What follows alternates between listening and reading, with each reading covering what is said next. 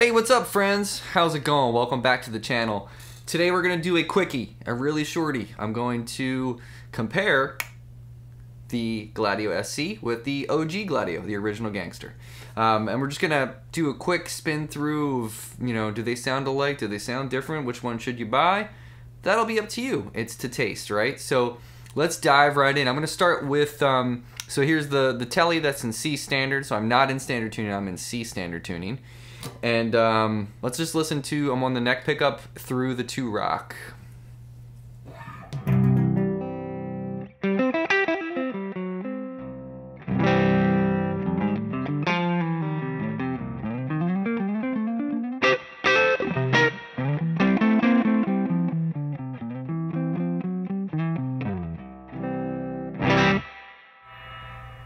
All right, there we go. Now let's go into the OG.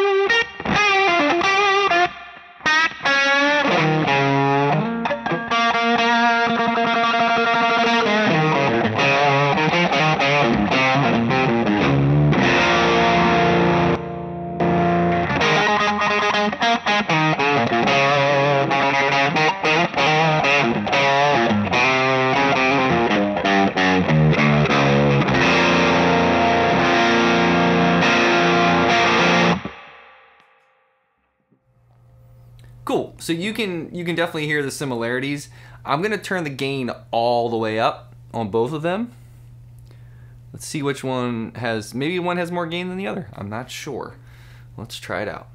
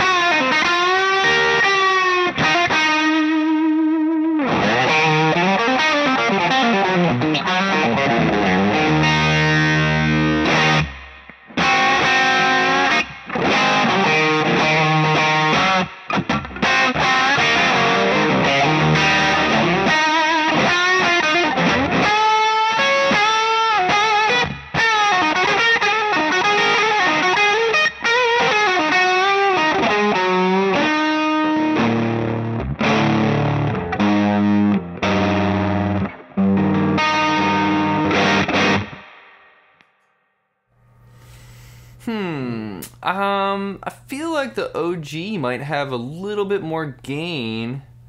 Let me bring up the tone a little bit on each of them. Around three o'clock. Uh, maybe a little bit more than three o'clock.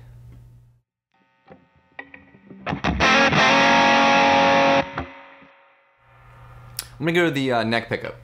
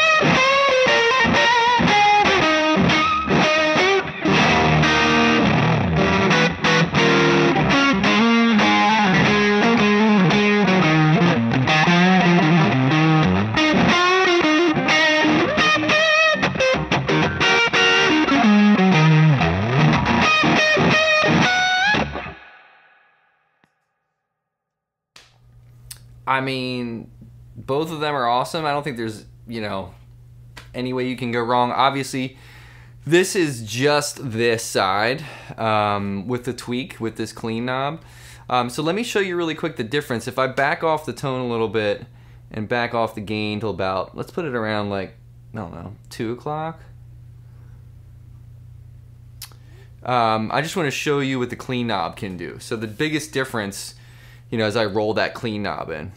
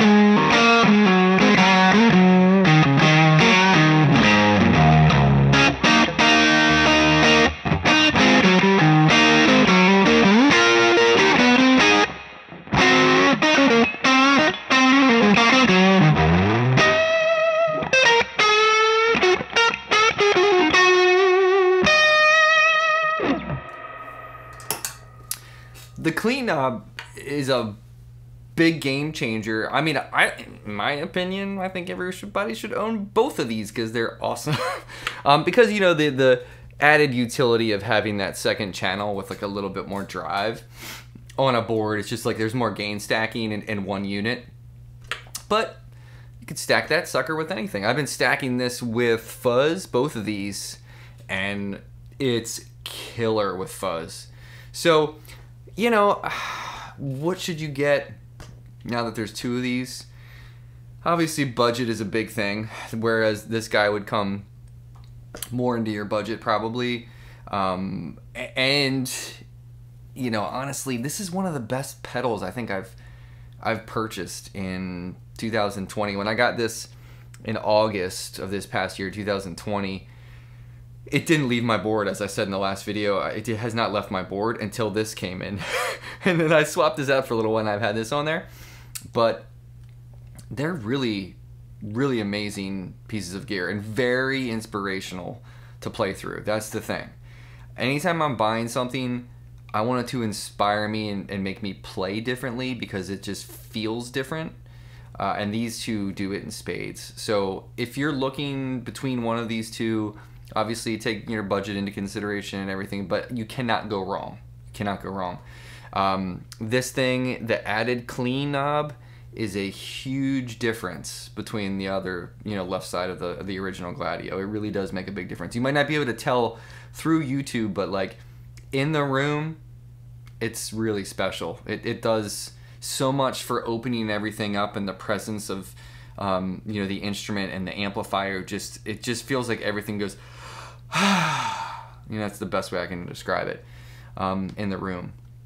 But, you know, if you can, if they're if they're in a local store near you, you can go try them out. Try them out. I've had several friends recently change their order from this unit to this unit because they love this one so much from the demos that have been floating around.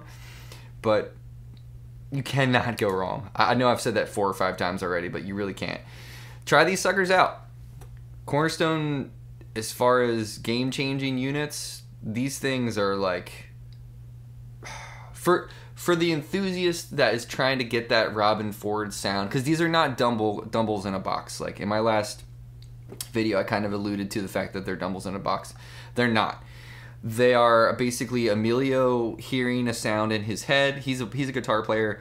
He loves Robben Ford's sound. Robben happens to be playing through um, a Dumble, but that's not what this is. It's kind of capturing the spirit and essence of you know Robben Ford's tone and um, yeah, it's just man, I love it. I love it so much. Anyway, I'm gonna shut up. Thank you so much for tuning in again. Um, I hope you guys are enjoying the channel. Hoping you're enjoying the the content of this channel. Make sure you keep tuning in for the uh, At Home with Marks. I have a bunch of amazing guests this season. So stop on in on those. Say hello to myself, the artist, um, the gear builder, whoever's on the show, and drop that little hello emoji, right? And we'll talk to you soon. I'll see you next week. This week we got two great guests coming up. We got Matt Schofield uh, on Saturday of next week, but this Wednesday, uh, Tim Marcus from Milkman Amps is going to be on the show, and I'm super pumped to talk to him about old Fender amps and his inspiration for all this stuff. All right, guys, take care of each other, take care of yourself, and I'll see you next time.